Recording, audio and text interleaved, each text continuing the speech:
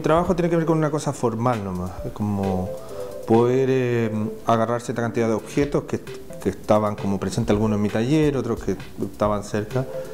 Y claro, uno piensa en la, forma de una barrica y piensa todas las operaciones que podía hacer, desde encontré que las barricas tenían que ver como con, los estómagos de los caballos, que tienen una forma, cuando les ponen las cinchas, como...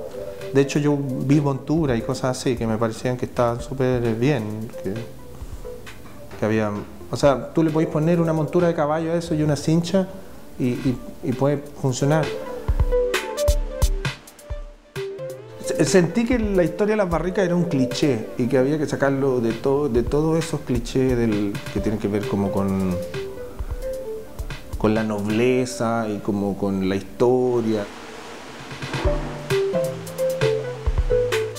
Funciona antropométricamente. ¿Me entendí?